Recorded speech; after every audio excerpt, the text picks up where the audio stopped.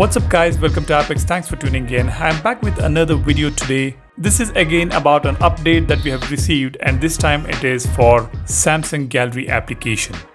Let me just take you through the change log here. It says the video frame feature of the film strip at the bottom of the single photo view screen in the bracket they have mentioned detail view has been expanded and has been improved so that users can easily move to the desired point and play using touch making it easier to watch videos.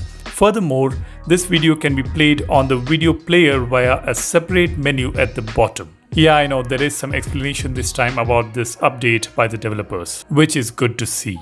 Now let's go ahead and open the gallery application and let me show you what is this change all about. Now let me open this first image here. Now at the bottom what we see here, this is called the film strip.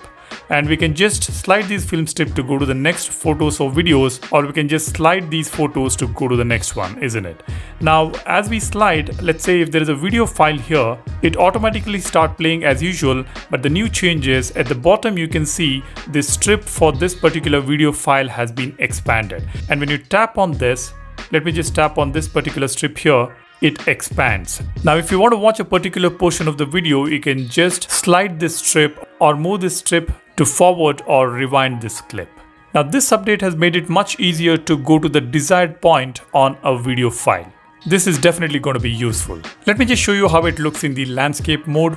Let me just go to a video file.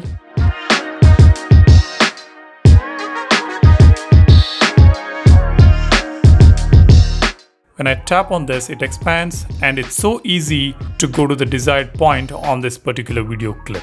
This is a great improvement on gallery application with this update. Now let's say if you want to open this particular video file on a video player. All you need to do is just tap on this three button to open the menu. We will see an all new option here, open in video player. Just tap on that. This video will be opened on the video player. This is another new addition with this update. It's good to see Samsung enhancing and improving these applications to provide a better user experience as always Samsung has been doing. Let me know what do you think about this update, do leave a comment. That is all I wanted to share with you guys in this video. Thanks a lot for watching. I will see you in the next one. Cheers, bye bye.